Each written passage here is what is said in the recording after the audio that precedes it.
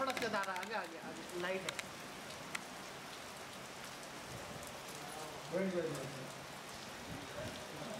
भाई अभी कौन सा शो आने वाला? अभी शो नहीं अभी फ़िल्म आएगी। क्या बात अच्छा, चल रहा है काम। किसका अभी कुछ बता नहीं सकते यार अभी शूट कंप्लीट हुआ है। थोड़ा सा शूट था बनारस में। और आगे का काम चालू। और बाकी सब ठीक? बाकी सब ठीक आप लोग भी ठीक रहेंगे। Thank you thank you bye